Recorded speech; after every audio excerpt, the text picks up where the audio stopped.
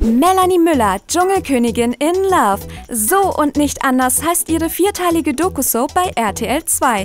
Ab dem 12. Januar geht's um die echten Gefühle. Vom Überraschungsantrag bis hin zur Traumhochzeit. Wir haben mit Melanie und Mike Klartext gesprochen. So läuft die Beziehung wirklich.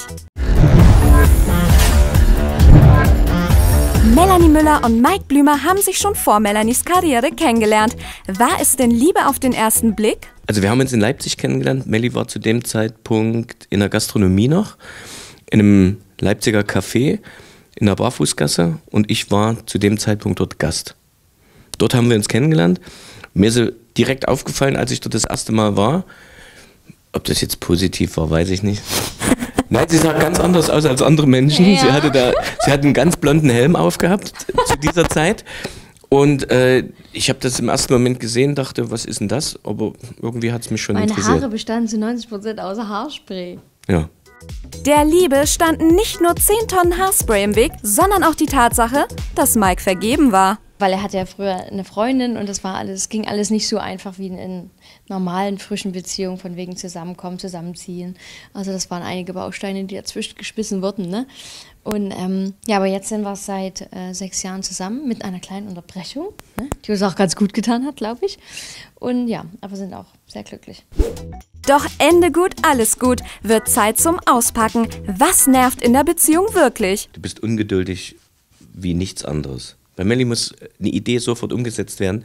Die muss möglichst gleich und nicht nochmal auf die lange Bahn. Und wenn sie auf die ba lange Bahn geschoben werden muss, ist sie auch sehr unleidlich in der Richtung. Das ist ein bisschen ein Punkt, der nervt. Und ein bisschen noch ein Zwilling dazu. Das heißt, äh, wenn der böse Teil mal gerade im Vordergrund ist, den sieht man auch auf ihrem Arm, das böse Kleine, dann äh, wird es schon nervig. Also da drückt dann schon eine Energie durch, die ist, nicht, die ist nicht von schlechten Eltern und die lässt dann auch nicht los, die hängt fest dann. Also ich kann nerven wie ein Kleinkind. Das kann ich gut. Kann ich wirklich nur bestätigen. Ja, ja also früh stört mich wirklich seine dauergute Laune, weil ich will echt früh kurz meine Ruhe haben. Und, oder wenn ich von irgendeinem Job gekommen bin, wo er mal nicht dabei ist, will er halt wissen, und wie war es? Und ich bin halt, ich muss erstmal ankommen. Und ansonsten ähm, ja, er schläft immer eher ein als ich. Ja, das ist echt nervig. Ich stehe auch mehrere Stunden vor dir auf. Ja, trotzdem ist es nervig. Es gibt viele Sachen. Es ist ja auch so tagesabhängig, ja. manchmal nervt es mich auch, wie du kaust, ja. Aber das ist jetzt nicht immer.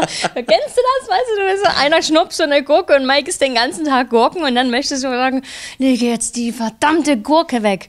Aber das ist nicht immer. Das ist nur so nur 80 Prozent im Leben. Und nur bei Gurken. Neben kleinen Reibereien gibt's natürlich auch jede Menge Knistereien. Vor allem mit einer Sache wickelt Melanie Mike sofort um den Finger. Na klar hat Melanie positive Seiten.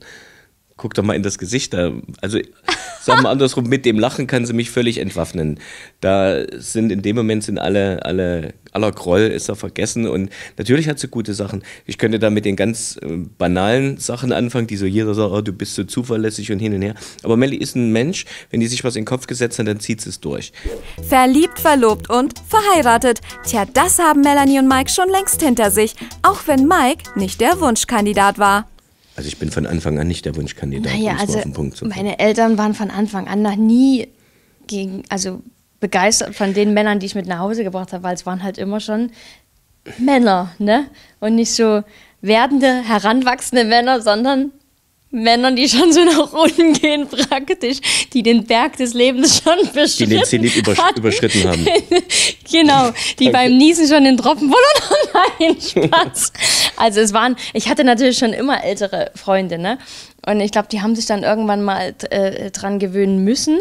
Und ähm, dann kam Mike, auch wieder älter und er war halt nicht immer der, der, Wunschkandidat. Ne? Das war so, ob der zu mir gepasst hat oder, oder ähm, in meinem Leben passt es irgendwie noch nicht so richtig rein so, für meine Eltern. nicht noch mehr. Nee, wir verraten ja nicht so. Wir verraten halt. nicht noch mehr zum Thema.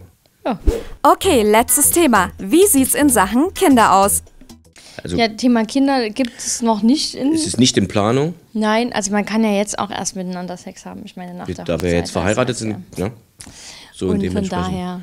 Nein, es ist nicht in der Planung, es wird auch nicht darauf hingeackert oder sonst irgendwas, wie es passiert, passiert. Ja, denk dann, ich gehe straff auf die 30 zu. Das stimmt, du wirst langsam zu alt für mich. Ja, eben.